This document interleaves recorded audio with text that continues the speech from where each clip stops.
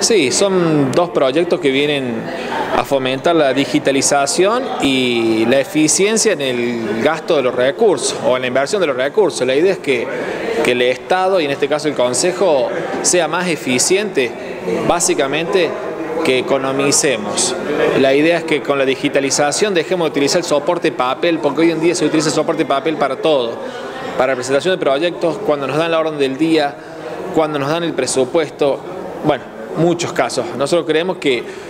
yo lo que quiero en realidad es instalarlo como una política pública y que todo el Estado sea más eficiente, pero me pareció esto como una primera etapa más sencilla y poder larga porque lo, lo he hablado con los técnicos, no es una cuestión de recursos, es una cuestión clásica de conocimiento, digamos, porque existen ya eh, programas que son tipo Word, donde uno puede,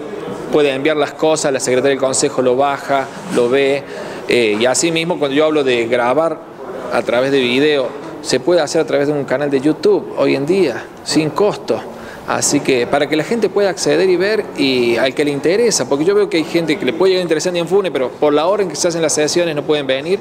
o por el frío, o porque tienen que